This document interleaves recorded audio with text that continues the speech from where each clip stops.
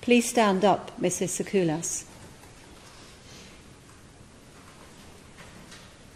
You are disqualified from driving for 12 months for the offence of causing the death of Harry Dunn by your careless driving. The sentence is eight months' imprisonment, suspended for 12 months.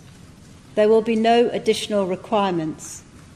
The sentence means that if in the next 12 months you commit any offence, whether or not it is of the same type for which I'm sentencing you today, you would find yourself before the court again, and it is likely that the sentence will be brought into operation either in full or in part. Thank you very much. You may sit down.